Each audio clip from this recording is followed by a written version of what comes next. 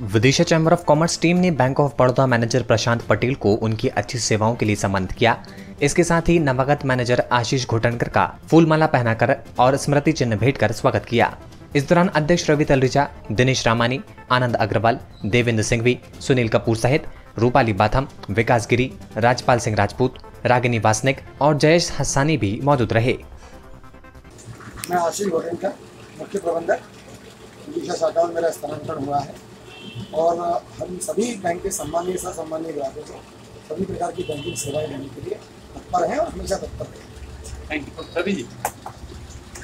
मैं रवि चौधरी, अध्यक्ष national chamber of commerce और शहर, जब हमने आज से पाँच छः साल पहले जब मुद्रा लोन लागू की गई थी, तब बैंक ऑफ़ बड़ौदा ने बढ़ करके हमारे व्यापारियों को मुद्रा लोन में बहुत सहयोग किया था। और इसमें अभी मैं पिछले दो, तीन साल से देख रहा हूँ, हमारे बीच